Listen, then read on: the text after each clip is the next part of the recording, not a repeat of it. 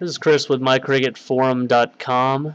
This is our third and last video in our flashing tutorial. We're fully flashing a Sprint HTC Evo 4G to Cricket, talk, text, MMS, internet. As you can see, the Evo still has the Sprint PRL on it. So if you dial customer service, you'd go to Sprint at this point. I'm dialing pound pound 3424 so I can open up the DM command service. As you can see, it's installing on my computer. You're probably going to have to manually install these drivers when you do it. I've just had so many EVOs on my computer that it knows the location for these files.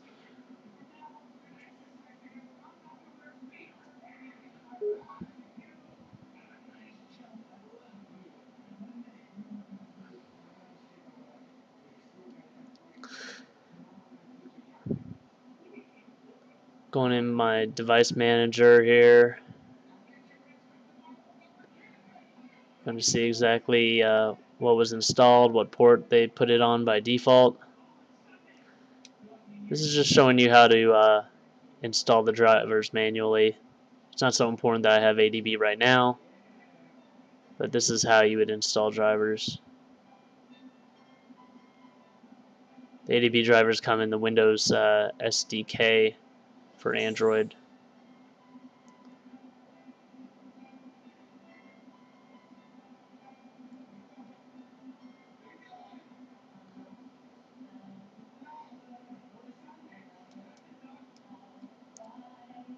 Should start install this HTC diagnostic interface.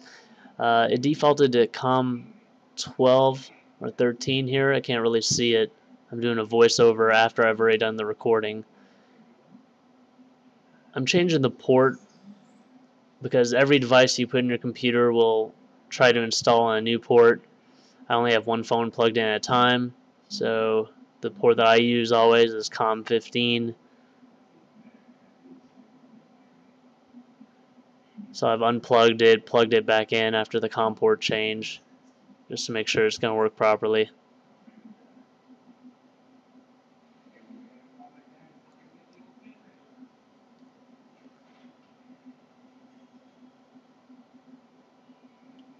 Now I'm opening up CDMA uh, workshop. I'm going to connect to COM port 15 because that's what it was installed on. Hit connect. Now I'm going over the security. I'm using default NVRead. And then hit the read button. I've gotten the number and now I'm sending it back to the phone. And that will unlock the phone and allow me to zero it out. So now the SPC is 000000. Too easy to remember. You don't need to reset the mode after doing that. Now I'm going into the service programming for QPST.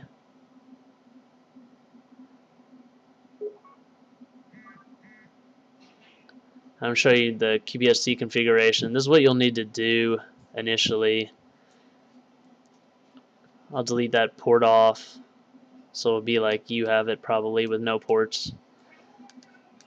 I'm installing the COM port or enabling that port and then it'll pop up in the QPST service programming.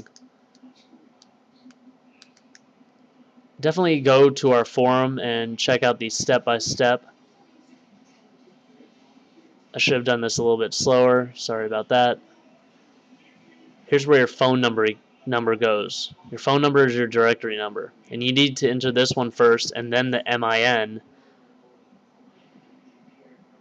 or else it'll, it'll mess up the settings. The MIN was the second number I entered there. I went to the Roam tab and I picked the PRL that I want.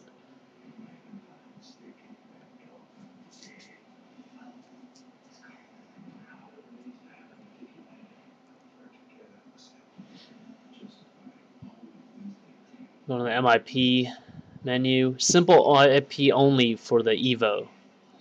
I'm putting at mycricket.com at the end of the telephone number, copying that, pasting it there, entering cricket there, cricket again, zeroing out these numbers.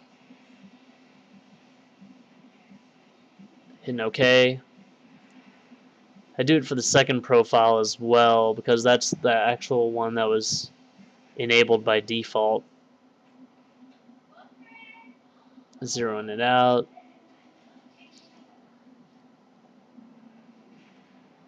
You'll see active users 1, so it should be going off this the second profile that I inputted.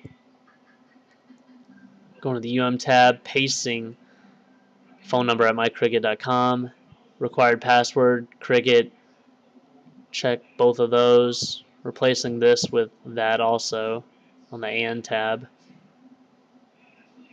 And then when you're done with that, all you have to do is write it to the phone. It'll reboot the phone. Upon reboot, we'll see, you might get that error, it doesn't matter. But upon reboot, you should have talk, text, and internet if you're on the $55 plan. And that's if the phone has already been uh, put on your account. You can see me going into Cricket CID and making sure it's already placed on this person's account.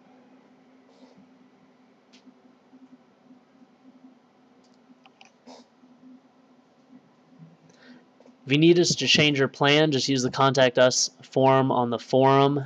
We do offer this service for free to make sure that you're on the correct plan. Our premium members get free ESN changes.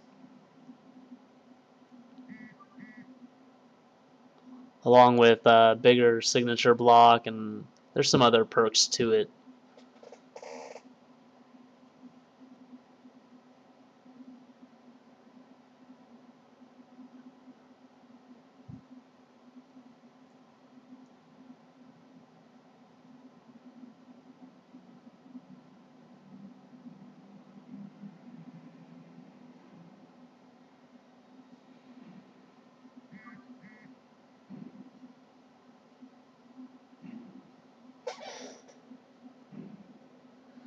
I believe at this point I install APN Backup Restore. That's kind of what's needed to get the MMS working on this phone.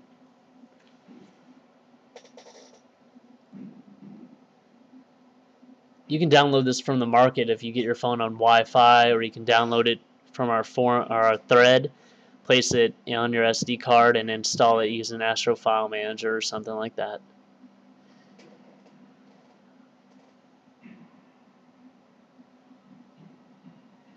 So now we have it on our phone. I'm going to delete all the APNs. And then I'm going to restore the one that we uh, had configured earlier. Actually in part 1 I believe we configured this APN. The APN is attached also on that forum thread.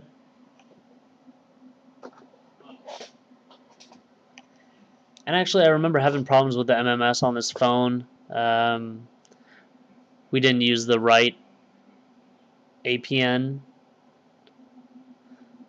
So you'll see me go back and edit the APN again. Don't worry, on the forum it has the correct APN.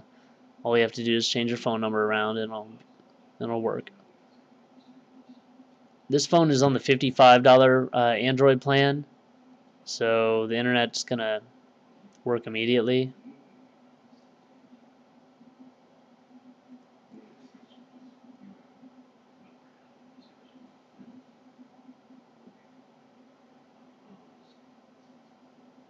Well, it was supposed to work immediately. I believe I had to reconfigure it and you'll see that at the end of the video.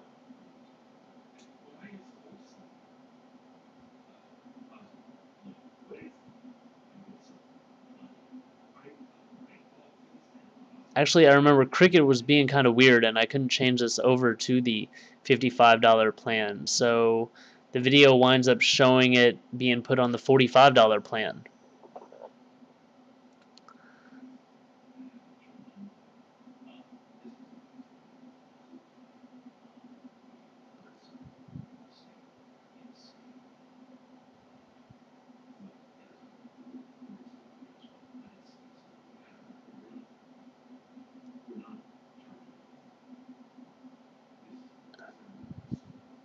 I have two monitors on this computer, so what you can't see on the other monitor, I'm going to one of our other uh, threads and trying to remember how to configure U2NL and auto start so that we can surf through the proxy and keep it on the $45 plan.